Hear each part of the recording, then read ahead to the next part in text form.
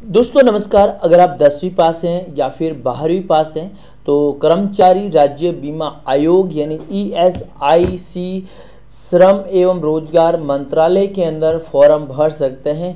आपके सामने official update है, मैं आपको एक एक चीज़ बताने वाला हूँ। और आप भी फॉर्म भरना चाहे तो यहाँ पर आप डिटेल से भर सकते हैं। तो दोस्तों, चैनल पर पहली बार है तो स्टार एजुकेशन को सब्सक्राइब कर लीजिए। और शेयर भी कर लीजिए साथ में। तो आज हम आपके लिए लेके आ चुके हैं कर्मचारी राज्य बीमा चयन आयोग के अंदर, दसवीं पास, बारहवीं पास की वैकेंसी निकली है। तो दोस्तों, ये एम्प्लॉयमेंट पेज है, आपके सामने ये पेजेज खुला हुआ है। और यहाँ पर वैकेंसियाँ हैं, आ चुकी यहाँ पर आप देख सकते हैं वैकेंसी हैं। जैसे मैं बताऊँ, पुडुचेरी की है, चंडीगढ़ की है, जयपुर की है दिल्ली की है, चेन्नई की है, हैदराबाद की है, कानपुर की है, देहरादून की है, कोलकाता की है। उसके बाद में मैं सबसे पहले राजस्थान की है तो राजस्थान को मैं साइन इन करूँगा। तो राजस्थान की आप देखेंगे कि राजस्थान के ऊपर कौन कौन सी पोस्ट हैं तो मैं आपको डिटेल से इस वीडियो के माध्यम से बताऊँगा।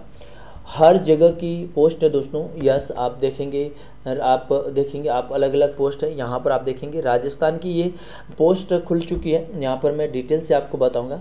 तो वीडियो शुरू से लेकर अंत तक देखेंगे, तब आपको पता चलेगा। देखिए दोस्तों, सबसे पहले कर्मचारी बीमा आयोग यस जयपुर, यहाँ पर आप देख सकते हैं। इसमें दे रखा है यूडीसी स्टोनोग्राफर और एमटीएस की वैकेंसी है। अगर आप राजस्थान स्टेट से बिलोंग करते हैं तो राजस्थान से फॉर्म भर सकते हैं। यहाँ पर आप देखेंगे तीस यूडीसी की सिक्स स्टोनों की और छियालीस एम की है। सबसे बेस्ट पोस्ट है को अच्छी पोस्ट है। सैलरी अच्छी मिलने वाली है। और ऑल राजस्थान के अंदर दोस्तों, इस डिपार्टमेंट में वैकेंसी आती है तो बहुत आती है, लेकिन ये बहुत वैकेंसी है। सबसे पहले यहाँ पर मैं आपको डिक्लेरेशन बताऊँगा कि क्या पेमेंट दोस्तों, आपका जो पेमेंट है, अगर आप यूडीसी हैं या फिर स्टोनोग्राफर हैं तो पच्चीस हज़ार पाँच सौ के लेकर एट्टी वन इक्यासी हज़ार तक आपको पेमेंट मिलने वाला है। और अगर आप एमटीएस के माध्यम से सिलेक्शन होते हैं तो दोस्तों आपको अट्ठारह हज़ार से लेकर छप्पन हज़ार के बीच में पेमेंट मिलने वाला है। उसके बाद में अदर एल जो आपके डीए हैं एचआर हैं, सभी ये तो मिलने वाला है। अब आपका इसका क्वालिफिकेशन क्या है, आप मैं देखिए। दोस्तों सबसे पहले यूडीसी दोस्तों दसवीं पास है, बारहवीं पास है और ग्रेजुएशन पास भी भरती है। देखिए ए डिग्री फॉर यूनिवर्सिटी अगर आप ग्रेजुएशन है तो भी आप फॉर्म भर सकते हैं। और अगर आप बारहवीं पास है तो भी यहाँ पर फॉर्म भर सकते हैं दोस्तों। और दसवीं पास है तो भी यहाँ पर फॉर्म भर सकते हैं। तो चलिए, ये तो हो गई आपकी क्वालिफिकेशन की। आपके सामने लाइव चल रहा है। दसवीं पास हो गई आपकी, बारहवीं पास हो गई और ग्रेजुएशन पास है तो फॉर्म आप भर सकते हैं। अब आपकी एज लिमिट। आपकी एज लिमिट क्या रहने वाली है? तो दोस्तों 18 से लेकर 27 साल तक आपकी एज लिमिट है। ऑल इंडिया वैकेंसी है, कहीं से भी आप फॉर्म भर सकते हैं। वीडियो में आपको बताने वाला हूँ, ज़रूरी नहीं आप राजस्थान से भरें, सभी से भर सकते हैं। और अगर एमटीएस हैं तो 18 से 25 तक आप फॉर्म भर सकते हैं। लेकिन 15 फरवरी 2022 से पहले आपकी एज कंप्लीट होनी चाहिए। उसके बाद में पाँच साल की छूट S C, S T, O B C के लिए तीन साल, बाकी हॉरिजेंटल आरक्षण अब इसके अंदर फॉरम देखिए, ऑफ़ इंडिया का चिल्ड्रन, नेपाल, भूटान से भी फॉरम।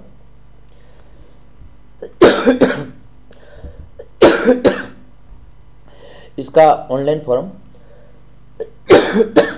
शुरू हो गया है। पंद्रह फरवरी इनका लास्ट डेट है। पंद्रह फरवरी से आप फॉरम नहीं भर सकते। इसमें आपको फ़ोटो सिग्नेचर यस अब देखिए, सीधा हम चलते हैं। ये तो आपका अप्लीकेशन हो गया। देखिए, आपका फ़ीस दोस्तों फॉर्म भरेंगे तो फ़ीस आपकी लगने वाली है। तो फ़ीस कितनी लगेगी? तो आपके सामने पे स्लिप है दो हज़ार पाँच सौ रुपये और दो सौ पचास रुपये तो आपके सामने पे स्लिप है। ना मैं बताऊँगा, मन से न आप बताओगे तो आप यहाँ पर देख सकते हैं। उसके बाद में दोस्तों, यस, चलते हैं। आप डॉक्यूमेंट डॉक्यूमेंट में, जो passport size photo side declaration करना है थंबनेल करना है। अब चलते हैं एग्जामिनेशन की ओर। सेंटर फॉर एग्जामिनेशन आपका सेंटर एग्जामिनेशन यस अब हम चलते हैं इसका सिलेबस दोस्तों, अगर आप यूडीसी से फॉर्म भरते हैं तो आपका पहला exam general knowledge 25 question 25 number के। जीके 25 क्वेश्चन 50 नंबर के। मैथ 25 क्वेश्चन 50 नंबर के। इंग्लिश 25 क्वेश्चन 50 नंबर के।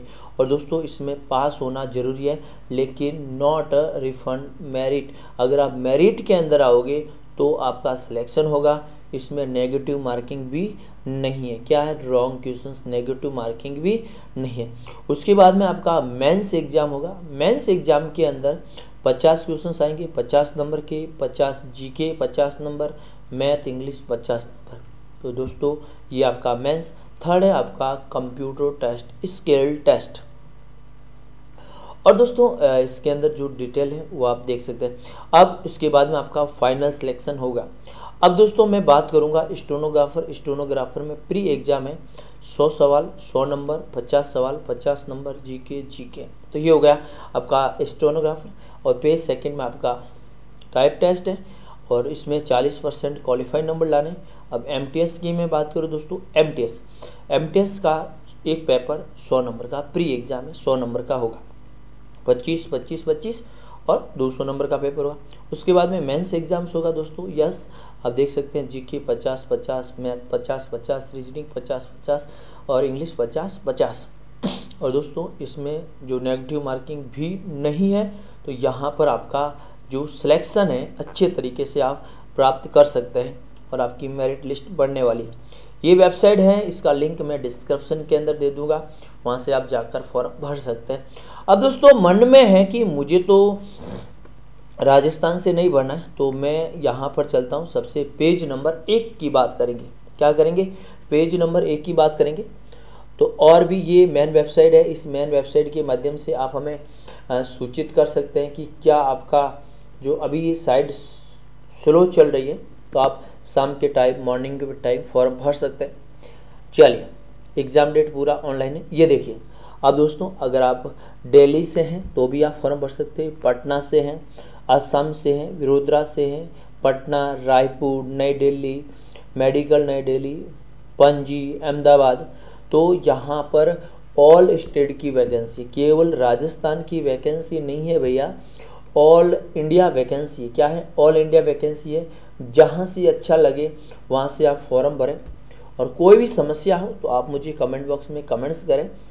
और इसका सिलेबस मैंने आपको बता दिया है, एज लिमिट मैंने आपको बता दिया है, एग्ज़ाम डेट मैंने आपको बता दी है। एग्ज़ाम डेट अभी जारी नहीं हुई तो मैं यहाँ पर नहीं बताऊँगा। अभी एग्ज़ाम डेट के बारे में यहाँ पर कोई अपडेट नहीं है तो मैं यहाँ पर आपको बताने वाला नहीं हूँ एग्ज़ाम डेट के बारे में। तो देखिए, पूरा डिक्लेरेशन आपके सामने।